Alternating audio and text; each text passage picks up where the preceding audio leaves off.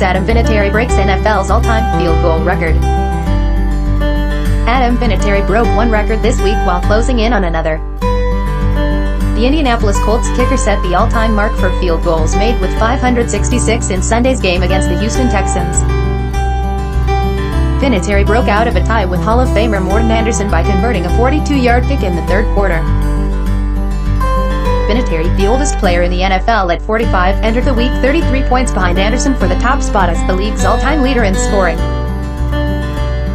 He already holds the marks for the most consecutive field goals made 44, postseason field goals 56 and postseason points scored 234. He's also the only player in NFL history to score 1,000 points with two different teams.